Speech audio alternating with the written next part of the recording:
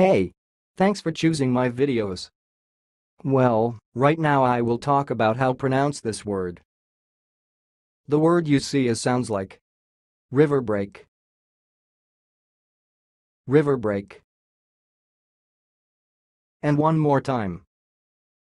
River break.